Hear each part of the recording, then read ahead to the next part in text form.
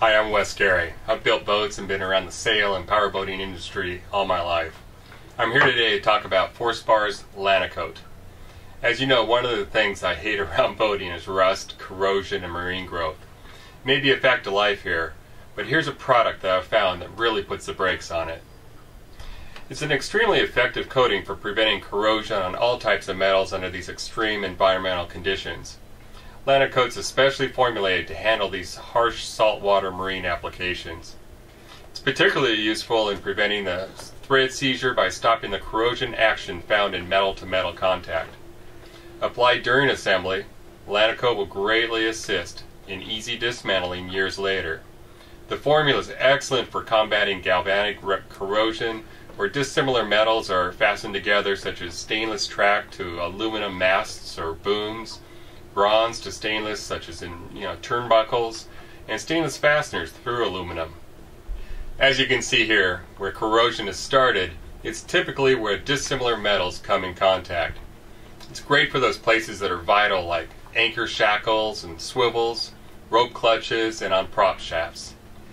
Believe me, you'll be thanking yourself when it comes time for removing your prop, changing out a through hull that may have developed a tiny leak behind a cabinet and corrodes it solid. And don't ask me how I know. LanoCote is environmentally friendly since it has no harsh chemicals, and yet it's very long lasting. LanoCote is manufactured at the Forespar factory in Southern California.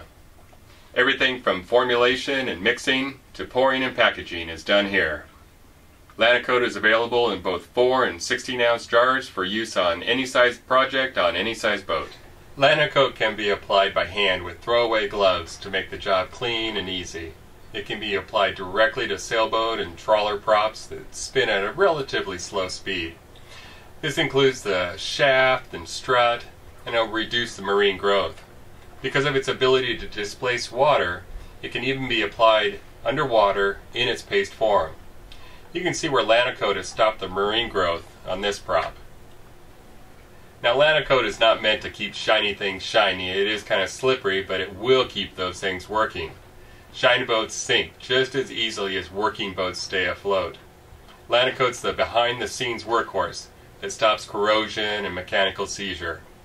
When you come back to the boat after a few weeks away or even the off-season, how great is it to have everything in working condition?